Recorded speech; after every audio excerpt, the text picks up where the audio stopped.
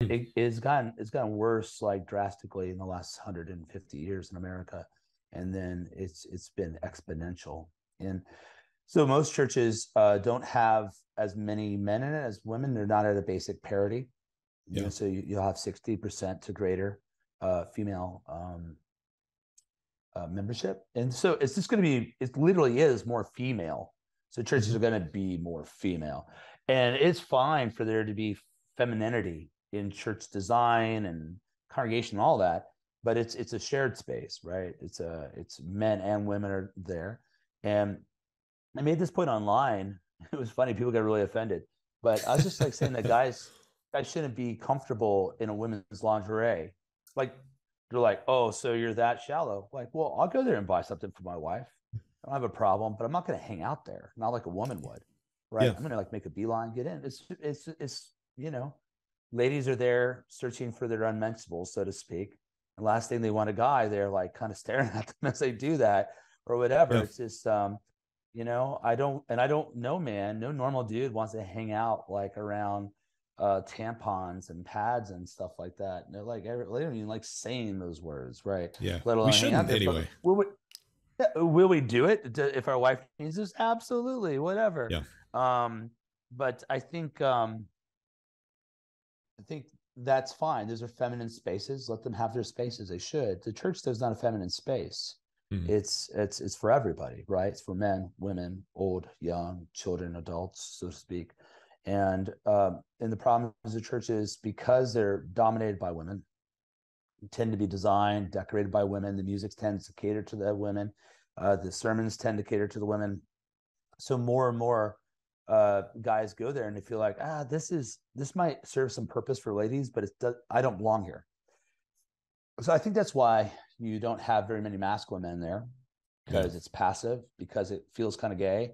Um, and if it's not not feeling directly homoerotic, it's feeling very feminine.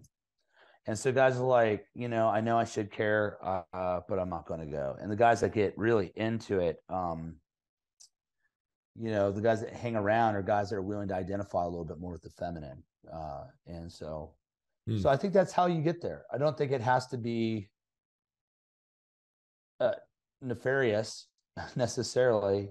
Yeah. it's problematic and we have to do something about it because the world needs men. The world needs godly men. We need men for elders we need them for deacons we need them for fathers. Um, we want uh, our daughters to marry godly strong men and uh, so yeah but effeminacy, to a point you made, effeminacy and machoism, really same deal. Just 2 mm-hmm. Uh, two sides of the same coin, which are guys that don't know how to be a man. So one doesn't know how to be a man, so he takes on the attributes of a woman. So femininity is uh, beautiful on a woman, repulsive on a man, right? It's just the example I'll give people is a woman will sway her hips when she moves. And that's because one of the ways you know uh, from skeletons, whether it's a female or male skeleton, is uh, the, the, the, way their hips are shaped, right? Mm-hmm. So women's hips are shaped differently, in part to have children. And mm-hmm. then when she's on the up uh, up cycle, um, when she's uh, moving towards ovulation, actually uh, it'll it'll soften ligaments and she'll sway more, right? Hmm.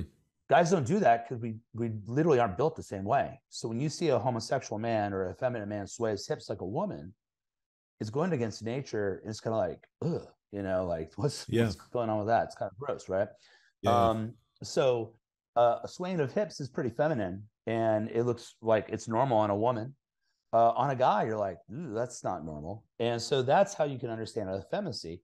It's not a, a pejorative uh, towards femininity. It's actually honoring femininity and say that's that's not the proper use for that right? And um, now machoism is is uh, still guys that don't know how to be a man. And they don't they don't have uh, strength under control. They're not gentle. They're not meek. Um, they really are controlled by how they want to be perceived by others. There's a lot of fear of man there and they're really controlled by their emotions. And they're those sort of guys are easy to manipulate. Those guys are um, and they're really weak right? They, they don't do things from a place of confidence but it's very performative on both sides Mm. And so it's kind of the same thing, really.